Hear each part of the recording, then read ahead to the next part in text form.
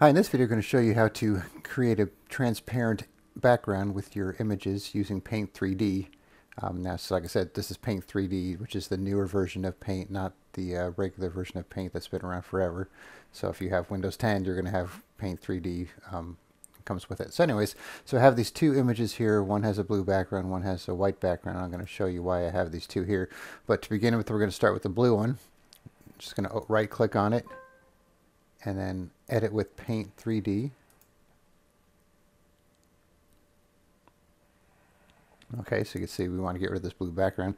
So the first thing you want to do is you want to crop out any extra stuff. So I don't want this vector stock thing here. So click on the crop tool and just kind of move this here. And then click on done. Okay, so that's gone. So next I want to use the magic select tool and this will just you just want to have a box around the uh, thing you want to I guess select.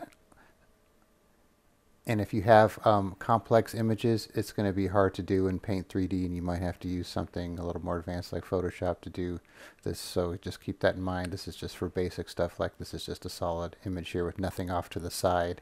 So we're going to just select that click on next and you can see it draws this green kind of fluorescent box around it.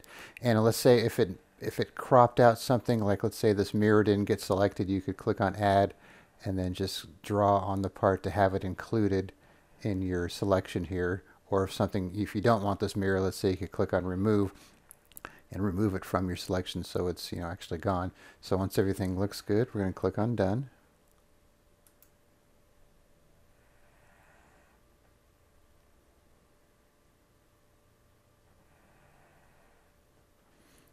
Okay, so now that's done. You can see it's a separate object.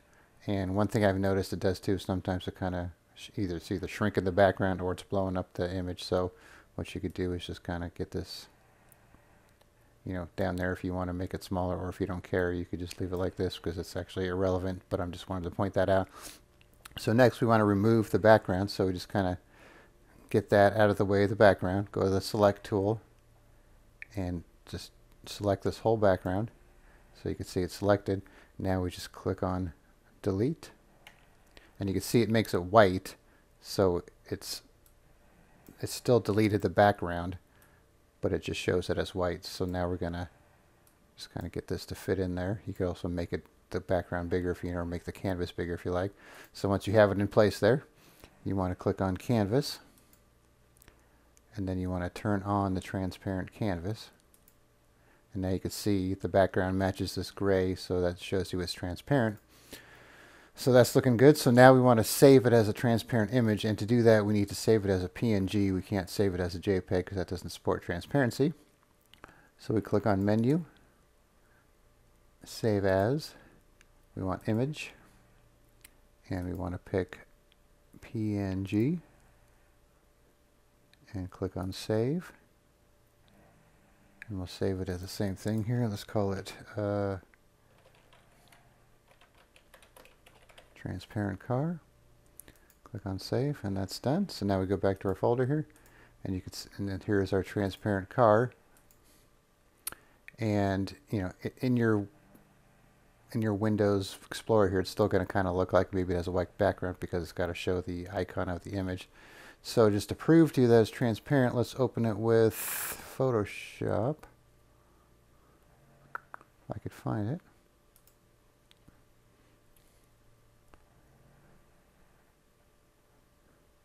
See now you can see this gray and white checkerboard is the kind of universal thing for a transparent background. So we could see that that worked compared to the original, which obviously has the background. All right, so now the reason I had this white one here is because, you know, sometimes you're going to have a white background, so it's not going to be as obvious. So we're going to do this one more time with something with a white background. So let's open it with Paint 3D.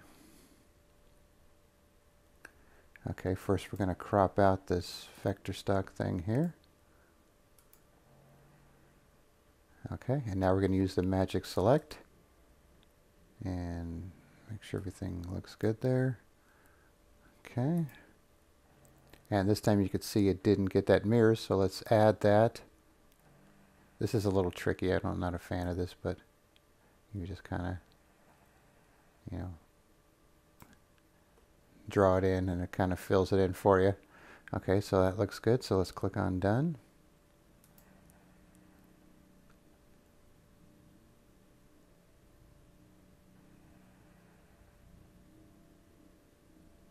Alright, so now we have this again. We could just move this out of the way and left a little weird thing there.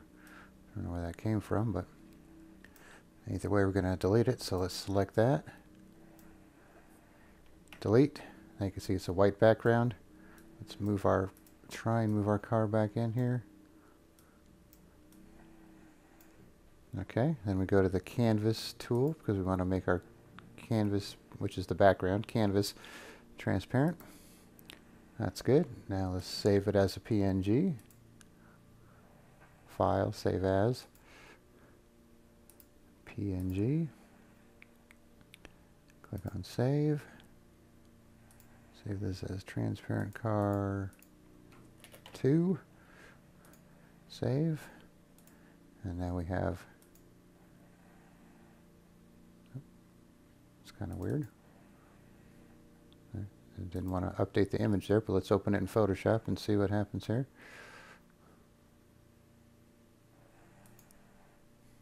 Yep, so we got the same thing. Here's the first one.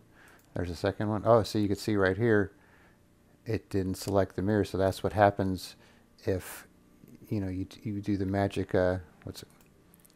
the magic select tool and it doesn't grab everything. You can see it's kind of gray here, so it missed that. So I should have use the uh, little add part here to add that in. So, that's, uh, so I'm kind of glad that did that because I could show you what could happen. So just keep that in mind when you do the magic select. Make sure it has everything selected. Otherwise, you got to use that add tool and kind of draw in the parts you want to add or remove to make sure everything's uh, covered there. All right, so hopefully that makes sense. So just, you know, maybe you need to watch this a couple times just to get the hang of it and then go in and try it for yourself and make sure you save as a PNG and you should be good to go. All right. Thanks for watching and be sure to subscribe.